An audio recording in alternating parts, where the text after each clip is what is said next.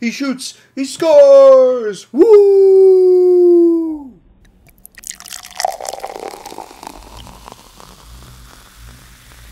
Beer, beer, beer, ba, beer, ba, beer, beer, beer. Hello, everybody. Welcome back to me, Maple Ruski, for the Ruski Brewski review. And today, the beer I have for you is not just by a brewery, but actually a winery. Funny enough. But they've made a brew. And this beer is by the Wayne Gretzky Estates. But this is their new craft brewing, I guess, subsidiary, sister thing, little portion off branch from the regular winemaking. This is Wayne Gretzky Craft Brewing number 99 Rye Lager, brewed with rye grain. Coming in at 5% alcohol by volume and an unlisted IBUs not here on the nice black and white can. The white portion, that portion being uh, sort of like the, the, the, the ice when when uh, when a skater or a hockey player just abruptly stops and sort of sh- shoots their skates out and get the splash of the uh, of the ice shred uh, ice shards sort of thing going up in the glass. It's sort of what it reminds me of. Very very nice looking can indeed. Beautiful beautiful. Five percent rye lager. Unknown IBUs not here on the can, not on the website, and not on Untappd either. But we're going to take a guess. I mean, it's a lager. It's probably not going to be any more than probably 25 at the top end. But like I said, I'm going to take an educated guess and see what it may be. And with that said, let's crack this bad boy open. Let's see what we got. Pouring it into my Wellington pop can style glass. That's actually a much lighter color than I figured. And again, it is a lager, not a rye ale. But looking at that beer, oh my god, it's clear. It looks exactly like a macro lager in color, kind of. I've also noticed I have a very big, not chip, but crack kind of in the glass. Not the greatest thing in the world, but hey, nothing's leaking, nothing's broken, I don't have any shards anywhere, so that's good. But yeah, very, very clear, very golden in color. You can see my face already through the camera. Very, very nice. Nice head on top. Actually, standing around quite a bit longer than I expected. Let's have a smell. Okay, so uh, aromas. Nothing really special in my mind. Smells just like a regular lager. Maybe a bit more intense, a little bit skunky per se, a little bit more toffee note kind of, but nothing that really sort of breaks any boundaries, nothing that really catches me uh, by surprise. Just pretty straightforward on the aroma. Sweet corn, grains, little bit of toffee, a little bit of caramel, slight butterscotch. Yeah, nothing crazy at all. Maybe in the taste is where we get a little bit more rye, because rye has a very distinct flavor. It's hard for me to sort of describe it. It's just, it's very distinct. So let's see if that's a thing here.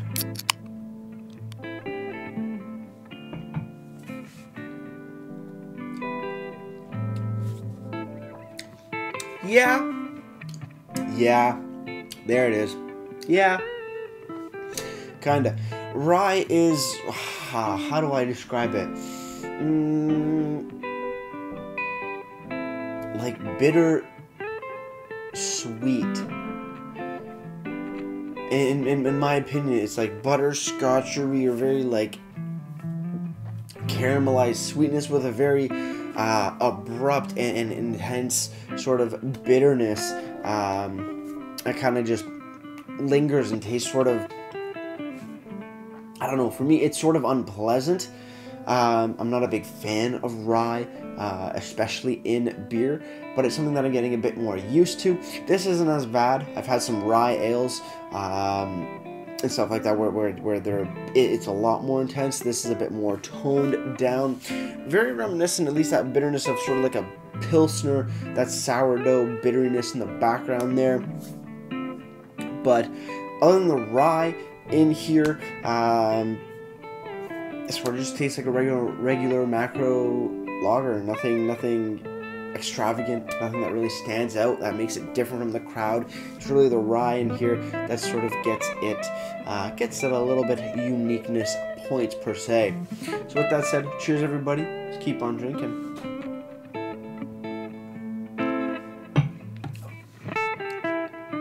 But yeah, the rye is there. It's a bitter, sweet sort of um yeah, I don't I don't really know how to explain it it's something that you just have to taste to really, I guess, understand what it is. But yeah, bittersweet sounds like the best way to explain it. But then again, that's a very, very broad term.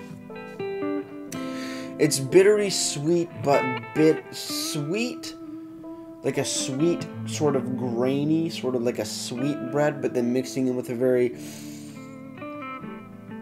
between like a mixture of like sourdough souriness and pumpernickel or dark dark bread bitterness is kind of where my mind is putting descriptive words to flavors to flavors that I've known in previous I guess times of my life. Kind of that's the best way that I can really put it. Um, if anybody has any better explanation, please let me know down in the comment box below because I, uh, uh, explaining words is kind of hard for me sometimes, especially when I can't figure out what words. Uh, I guess that's exactly what I'm saying. Explain. I'm, I'm using too many words to explain things that I don't understand how to explain. Does that make sense? Kind of ish. I, I don't know.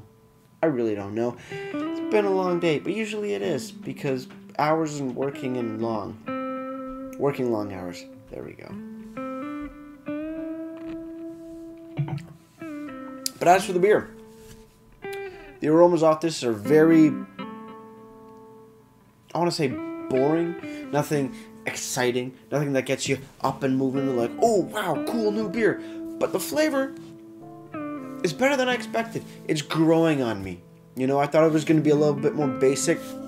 It is a little basic as far as lagers go in the beginning, but what I like about it, the ride does shine through a bit more, and it's not super intense. The rest of the the, the, the base lager of it is beautifully done, very crisp, very clean, um, goes down smooth, and that ride just sort of gives it that extra oomph, that extra punch. Sort of like what Wayne Gretzky did in the NHL. But yeah, no, definitely does. Gives it some diversity, gives it some character to the beer. And I'm pretty happy. Far as lagers go, with that rye, definitely a bit more bitter, slightly more drier of a lager in my personal opinion. IBUs, I'd probably put it more on that higher end, probably at about anywhere between 23, 25 IBUs in my personal opinion, just because of that. That rye does give it that bit more bitterness, not sharp bitterness like a, like an IPA or a pale ale, more of like a blunt, rounded bitterness, if that makes any sense. But with that said, we're gonna move over to this beautiful looking can, black and white. That that color, just the black and white, seems very basic. Seems very very just meh. But the way that that that they've done the white here, looking like a like like a skater or a hockey player, has just stopped abruptly and just get that shot of shot of you know sharp shaved ice up in there is absolutely fantastic. That's really cool. But let's let's focus on the information right now. Wayne Gretzky Craft Brewing, number 99 rye lager, brewed with rye grain. 5% alcohol by volume, unknown IBUs, like I said, probably around 23 to 25 IBUs. Uh, on the back, let's start with the description. A great beer from the Great One. Canadian rye grains add an extra layer of depth, zest, and freshness to the smooth malt and light hops flavor of a classic lager. Ingredients are water, malted barley, malted rye, hops, and yeast. Brewed at Niagara on the Lake, Ontario, Canada. Every can proudly supports the Wayne Gretzky Wayne Gretzky fa- Wayne Gretzky Foundation. Holy jeez, why did that take so long to speak? I've I had, maybe a drink or two before the review. That's okay. On the bottom, we also have a we also have a brewed on dates. My brain is working faster than I can speak. Sorry. Uh, bu- bu- bu- how do I read this? 02692 08 da, uh, dot dot 08, so 808 in the morning, I'm guessing. 54 4313. Mm-hmm. I'm not too sure how to really decipher this date code, but there's something there. I appreciate the effort, but you do all this fancy stuff, and you know, simple people like me don't understand. Just just keep it day, month, year, month, day, year, shit, year, day, month. I don't care as long as it's legible. Just just that that's easier for all us common folk. Nice looking can, good information, just missing IBUs, but not the end of the world. You got your ingredients, which is a big thing. You got your description, which is awesome. And you have a best before brewed on day. A little hard to decipher, but still, at least it is there. With that said, going from the can to the website, Gretzky Estates Wines.com. Yes, wines. This is originally a winery but apparently they've made a beer, which is absolutely awesome. So, website. You go to the website and you on, on the top bar you find the introducing number 99 rye lager. So it's perfect. It's the first beer. It's awesome. It's a good time. Easy to find. I love it. When you get here, you do have a description and it reads Wayne Gretzky Craft Brewing.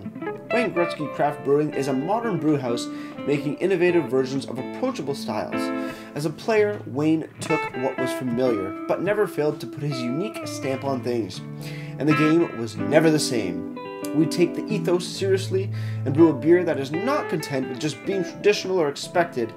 It's about taking the familiar and pushing the boundaries to create something truly special. And that right there beautifully explains this beer. Or this beer, or the they're the same thing. This is just in glass. But it does explain it absolutely beautifully. And you know why? Remember when we first, or, or at least when I first took a smell of this beer? Doesn't really smell super special. In the beginning, the taste isn't that special. But then that rye comes in and just changes the game up. That's what Gretzky did. Took something that we all knew, that everybody knew, put his own spin on it, made it awesome, made it his own, and rocked the world. So what this beer is doing, taking something we all know and love, putting a nice little twist on it, a very unique yet groundbreaking twist, something that sets it apart from others, but still is very traditional in the same way. A balance of both worlds, and I absolutely love it. I actually, I'm actually a big fan of this beer. This might be the beer be the drink that it has rye in it that gets me to that turning point of enjoying rye and rye based beverages more and more. So that's awesome. Speaking of the beer, awesome description. Website, that's really all there is, is there's the description and then kind of that's it. But it also has pricing for a single 473 ml can, which I didn't purchase, my dad purchased it um, on the website showing it coming in at $3.25 for a single 473 ml can, but also in a six pack of tall boys for $17.95. Pretty good price for the six pack, actually. A little bit more than regular stuff, but hey, you're getting a damn good beer out of it. So, not complaining.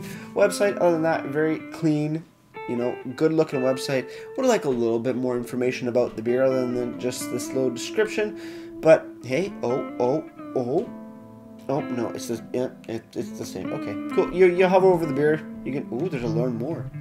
Ooh, but will it let me learn more? No, it's the same description. You just go to learn more, and then it's the same thing on a different style of page, which is fine. Available at the estate, LCBOs, select local bars and restaurants. Um, I think they forgot to mention grocery stores because this is where my dad got mine. Thanks, Dad. Um, but yeah, same cool, good website. I like it a lot. Finally, moving over to Untappd, the number 99 Rye Lager by Wayne Gretzky Craft Brewing or Wayne Gretzky Estates is coming in at 3.57 bottle caps out of 5, and that's out of 315 ratings. Not bad at all. Like I said, it's crisp, it's refreshing. That rye gives it a nice bit of punch, nice bit of oomph Nice little bit of uniqueness across the board, but still very traditional of a lager. You know, nothing uh, super super out there. Just a nice twist on things. Absolutely fantastic. With that said, guys, cheers on the final sip. Let's get right to ratings.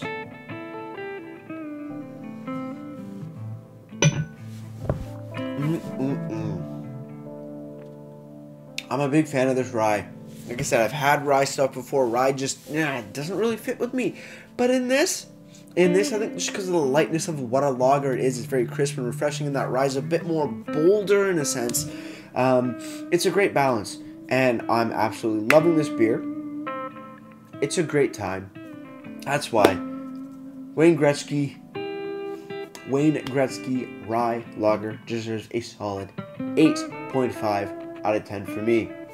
As for presentation, like I said, I love this can design, the black and white with the with the white being the uh, the sort of the uh, the skate the the, uh, the ice shavings when the skate uh, stops abruptly. I love it. Good information here, nice description. Uh, brewed on or best before date, a little bit jumbled up, but not the end of the world. At least it's there. And also ingredients, that's perfect. ABV, obviously got to be there. It's really only missing IBUs, which isn't the end of the world, but still would be a nice little thing to have. Website looks great, very clean, very crisp just like the beer.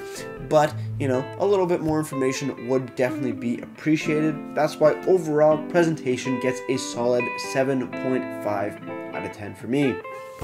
Before I leave you guys, if you have any comments, questions, or beers you want me to review in the future, you can leave all that information down in the comment box below. If you want to go ahead and like this video or subscribe to me, Maple Ruski, that'd be greatly appreciated as well. And with all that said, that's going to do it for me, Maple Ruski. Like I always say, crack a and enjoy. Cheers.